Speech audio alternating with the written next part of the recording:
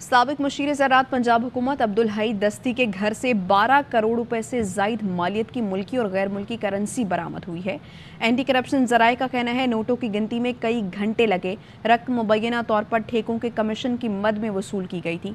बात करेंगे हमारे नुमाइंदे यार मोहम्मद हमारे साथ मौजूद हैं। आगाह कीजिए इस मुतालिक यार मोहम्मद। देखें, पीपी 200 सत्तर मुजफ्फर, मुजफ्फरगढ़ का ये इलाका है जहाँ पे ये एंटी करप्शन की जानब से छापा मारा गया है। सबक मशीर ज़रात, हुकूमत पंजाब अब्दुल हाई दस्ती के घर पे एंटी करप्शन हुकाम का कहना है कि जो सॉस रिपोर्ट थी, उसके मुताबिक ये रेड की गई है, जिसमें उनका एंटी करप्शन का कहना है कि तीस करोड़ रुपए की इतला थी कि कैश अब उनके घर के अंदर ये मौजूद है। जब टीम ने वहाँ पे रेड की और उनकी सेफ़ की तलाशी ली गई तो 12 करोड़ मालियत मालियत की जो मुल्की और गैर मुल्की करेंसी है, वो वहाँ से बरामद की गई और जिसकी फुटेज भी देखी जा सकती है कि हज़ार के, पाँच हज़ार के और इसी तरह जब जो गैर मुल्की डॉलर और यूरो हैं, उनकी बड़ी तादाद जो है उनकी सेफ़ के अंदर मौजूद थी, जिसको एंटी करप्शन ने वहाँ से बरामद किया है।